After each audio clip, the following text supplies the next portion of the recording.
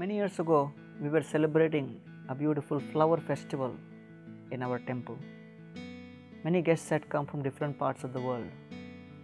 A gentleman had come to the temple for the first time. He was from South India and uh, he was used to visiting temples and celebrating various kinds of festivals.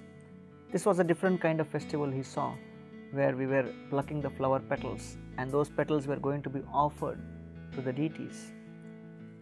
And practically everybody who was sitting across in the morning plucking those flowers saw something significant. That although people were coming from different diverse backgrounds of education, of country, of ethnicity, but still there was something in common. Each one was completely invested in trying to give their devotional energy into those flower petals. And at one level, everybody was actually one in spirit because we were all there to use those flowers in the service of the Supreme Lord as a gratitude to Him for what He is giving us. So, this gentleman was asking me, What are we going to do with all these petals? And I said, Wait till the evening. So, in the evening, when the festival began and the flower showers began on the deities, he was sitting right there next to me, right in front. And we were seeing this beautiful shower of flowers, and after the flowers were showered on the deities, they were showered on the devotees. And when the flowers started being showered in the temple, this gentleman got bewildered because he had never seen so many flowers being showered. And then, when the flowers fell down, the devotees started taking the flowers in their hand and started hitting each other with great love and affection. And it was such a fantastic, amazing scene. But it was a total shock for him because he had not expected anything like that. And then suddenly a bunch of flowers came and hit him on his face. It took him by surprise. He looked around to see if anybody is watching him or not.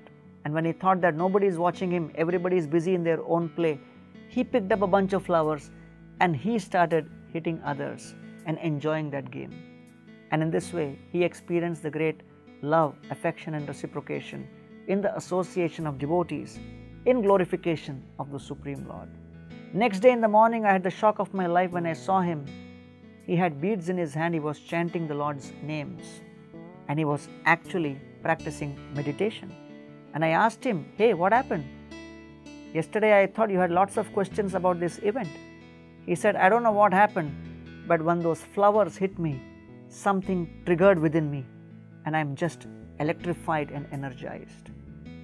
The question arises when we go to the temples, why do we offer flowers? Those flowers represent the feelings of our heart, and we are actually expressing our gratitude to the Lord who's giving us every possible item we can imagine in life. Therefore, in the Bhagavad Gita, Krishna says that you offer me leaf, flower, fruit, or water with love, I accept it. So, the love in our heart is the main ingredient which we are trying to offer.